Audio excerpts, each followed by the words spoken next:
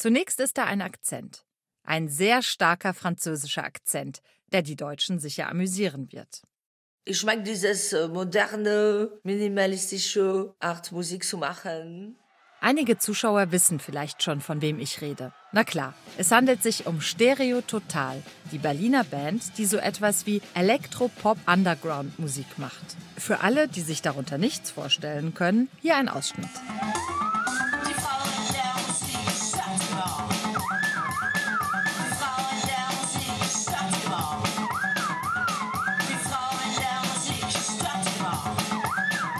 Stereo Total ist also ein deutsch-französisches Paar, auf der Bühne wie im Leben. Die Sängerin ist Französin und hört auf den Namen Françoise Cactus, nach einem bekannten Lied von Jacques Dutronc.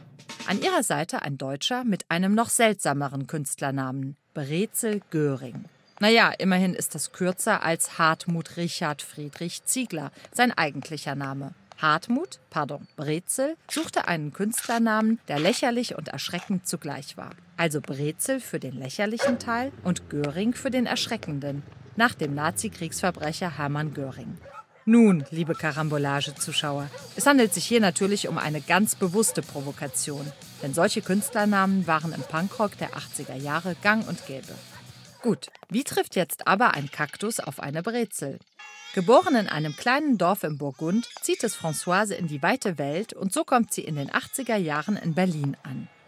In der pulsierenden Stadt mit ihrer einzigartigen Underground-Szene gründet die Französin eine Band, die vom französischen Chanson beeinflusst ist, die Loditas. Erst nach dem Mauerfall kreuzen sich die Wege von Brezel und Françoise, genauer gesagt im Jahr 1992. Brezel macht damals elektronische Musik und spielt in einer experimentellen Band namens Sigmund Freud Experience. Beim Einkaufen in seinem Kiez in Kreuzberg erblickt er eines Tages eine Französin mit langen Beinen und einem unverwechselbaren Lachen. Das ist der Beginn einer wunderschönen Liebesgeschichte, aber auch der einer Musikband, die ihresgleichen sucht, genannt Stereo Total. Jenseits vom Mainstream-Pop ist ihre Musik deutsch-französische Freundschaft schlechthin.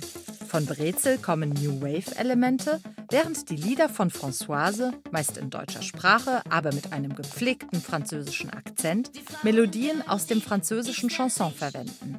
Der Akzent von Françoise gibt den nicht immer politisch korrekten Texten eine ironische Brechung, zur Freude ihrer Fans von den USA bis Japan, von Australien bis Mexiko und nicht zuletzt in Frankreich, auch wenn das Gros ihrer Anhänger deutsch ist. Karambolage hat die beiden getroffen. Oh, ich spreche gerne Deutsch. Ich schreibe sogar Deutsch. Ich habe ja schon äh, sechs Bücher auf Deutsch geschrieben. Also, ich habe zwar einen fürchterlichen Akzent, aber das kann ich nicht abstellen. Nee, nee, Deutsch, Deutsch gefällt mir sehr gut als Sprache. Ich finde auch, dass Deutsch überhaupt nicht hart klingt, wie man sagt. Also es gibt diesen Vorurteil, besonders in Frankreich, die denken, dass Deutsch hart klingt, aber das äh, liegt daran, dass sie früher all diese schrecklichen äh, Kriegsfilme hatten, wo es böse Nazis gab, die haben alle nur immer geschrien so Achtung, Baba, so. Und dann denken sie, das klingt eine Art. Die Sprache gefällt mir auch, amüsiert mich auch. Auch dieses Ding, diese Konstruktionen. Man kann eigentlich ein Wort machen, drei Zeilen lang, wenn man will. Mit diesem Schachtelprinzip und so, das ist ja perfekt. Praktisch.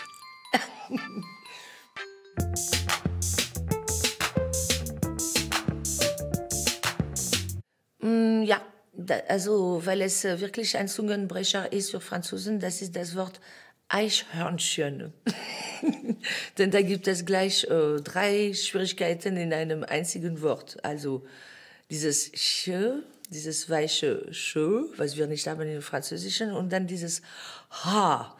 Es war sowieso sehr schwer für mich, äh, das H mit Luft zu lernen. Wir hatten in der Schule eine Deutschlehrerin, die hat uns bei den ersten Stunden, äh, wollte sie uns nur beibringen, wie man sagt, der Hund. Also saßen wir alle da und hatten wir die Hand vor dem Mund und müssten wir immer machen. Der und, aber die Luft spüren auf unserer Hand. Und das ging so wochenlang. Das war, eine, war, das war richtig entmutigend, um aber eine das, Sprache zu lernen. Das gefällt mir sehr gut, wie Franzosen sich Mühe geben, auch immer das H auszusprechen und das oft auch an Stellen setzen, wo es gar nicht hingehört. Also Amsterdam hat einen Affen oder äh, wie viel Hur ist es? ja. Stimmt, wenn man das gelernt hat, dann ist es wiederum sehr schwer, das abzustellen.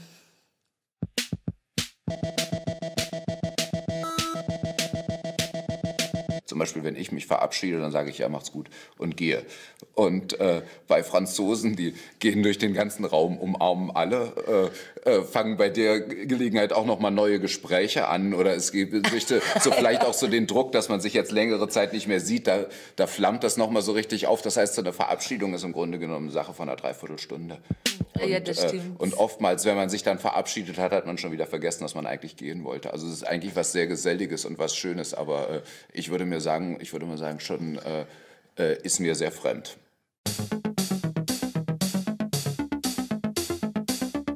Wenn ich nach Frankreich fahre, ich bringe immer ein paar Dinge mit. Ja, das sind zum Beispiel wirklich diese kleinen, äh, das sieht aus wie äh, Aspirin mit Vitamin C, aber das sind eigentlich so eine kleinen Dinger. Äh, die kann man einfach ins Klo werfen oder in die Waschmaschine. Die sind mit Eau de Javel und das ist perfekt, wenn man zum Beispiel ein super weißes Hemd hatte und jetzt sieht das ein bisschen grau aus, platscht das in die Waschmaschine, dann ist es wieder knallweiß. Das ist, glaube ich, ein sehr, um, das ist nicht gut für die Umwelt, aber das ist einfach das perfekte Ding zum Cleanen so. Aber Ah, Opin, die- Opinel ist natürlich auch wirklich mit dem Messer, dass du hast eine ganze Sammlung davon. Ah ja, Opinel. äh, Ah ja, Opinel. äh, In der Küche immer, ich kann nichts schneiden, ich habe kein Opinel. Nee, nee, Opinel, ja, auf jeden Fall. Ohne Opinel kann ich überhaupt nicht kochen, weil ich habe Angst mit diesen riesen Dingern. Die einzigen Dinger, die hier schneiden, sind gleich so Waffen. Da habe ich Angst, mir einen Finger abzuschnippeln, dann finde ich diese Opinel perfekt. Und ich reg mich total auf, wenn Britzel sie wäscht mit äh, und sie trocknen lässt, so dann rosten sie. Das ist nämlich so ein ganz ursprüngliches Apparat, dieses Opinel. Man darf sie überhaupt nicht reinigen. man muss sie nur irgendwie abwischen und wenn die richtig dreckig sind, dann nimmt man ein Stück äh, Papier oder so und macht man Olivenöl und treibt so, aber sie dürfen nicht gewaschen werden und dann so trocknen in der Luft, dann rosten sie, dann schneiden sie nicht mehr, dann sind die ekelhaft. Diese Dinger wäscht man nicht. Fertig, so ist ein Opinel. Das ist auch nicht so schlimm. Aber ja.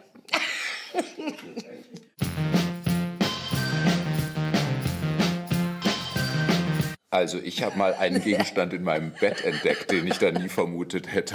Und das beruht auf so einem französischen Aberglauben, dass wenn man so ein äh, Stück Marseille-Seife in seinem Bett hat, dass einen das vor Krämpfen in der Nacht Das bewahrt. ist, äh, das ist Also, kein Aberglauben, das ist wissenschaftlich bewiesen.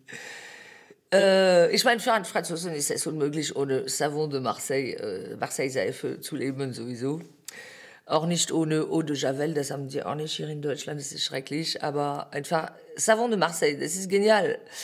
Um zu vermeiden, dass man schreckliche Wadenkrämpfe bekommt mitten in der Nacht und quasi äh, aus dem Bett springen muss und rumhüpfen muss, gibt es diesen Tipp, äh, das habe ich bekommen von den Freundinnen meiner äh, Mutter, die haben so eine Art lustige Witwenclub.